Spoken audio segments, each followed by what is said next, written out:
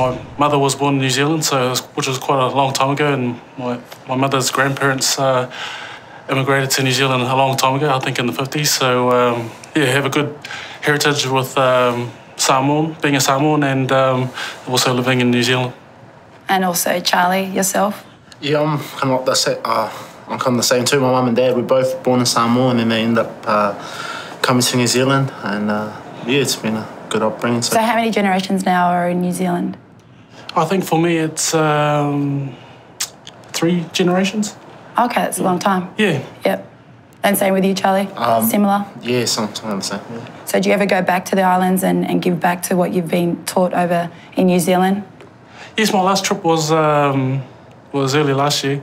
Need to make, make another trip back home, but um, it was good to get over and catch up with the family and um, I had an amazing time being able to take my kids there and um, show them where their granddad uh, grew up and um, the streets he walked and the places where he used to go as a kid. It was pretty special.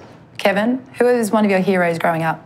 I used to look up to a man, Michael Jones. Uh, oh, yeah. He was a loose forward, uh, played for the All Blacks, a real legend.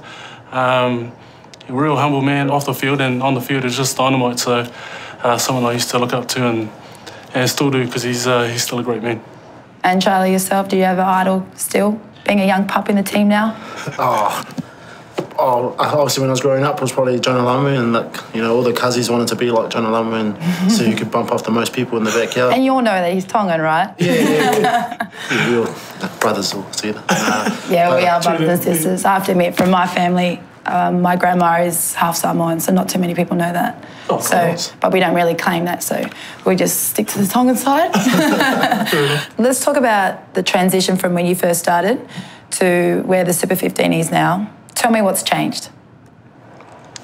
Um, I think probably uh, the speed and the physicality has gone up uh, quite a bit. I think the the skills always uh, been the same throughout the years. You know, um, probably with the um, difference of a few backflicks and stuff. But uh, I think just the um, size of the player coming through and um, the speed has just gone through the roof. It's, I think it's a total kettle of fish from when, when I first started. So quite different actually. I've only been like playing for a little while, but yeah, probably just seeing, you know, seeing a lot more bigger fellas coming through the game and like you know staying in the team. Whereas before, I was probably one of the only ones.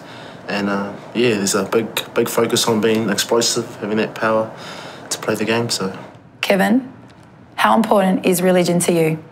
I think for a lot of us, it's, it's a big part of our lives. You know, um, it's um, like one of those. It's probably the pillar of uh, our our culture, our family growing up. You know, so.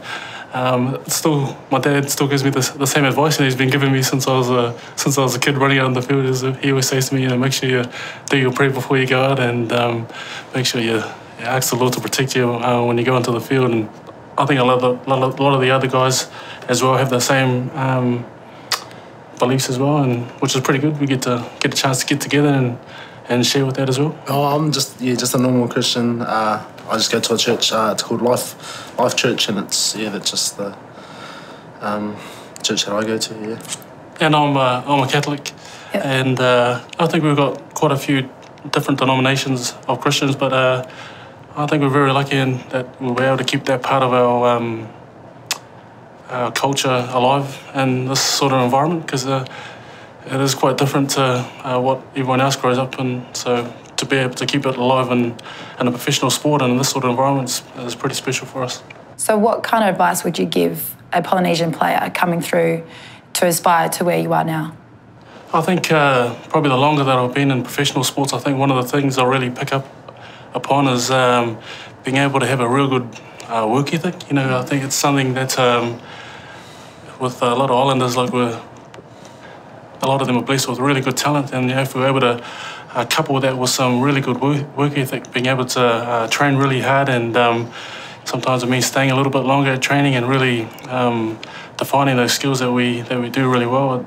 I think it'll just um, bring out even better um, sports uh, men and women uh, from the from the islands because I think we're nat naturally blessed with great talent, um, and when we can couple that with some really good work ethic, I think we just make amazing sports uh, people.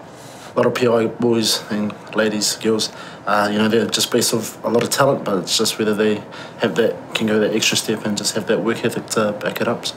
Thanks, guys, for taking out your time and um, speaking to Pacific Sport 360. Can and if you want to shout out, Oh yeah, I just want to give a shout out to my grandma at uh, for Lefanga. So I just want to say hi and hope you're doing well.